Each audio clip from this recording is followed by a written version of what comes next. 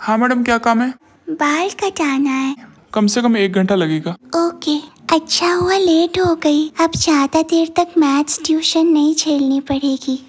Meanwhile in the tuition class ma'am अभी तक Chica नहीं आई। कोई बात नहीं हम लोग अपना स्टार्ट करते हैं। एक घंटे बाद। चीका इतना लेट क्यों आई हो? बाल कटवाने गई थी।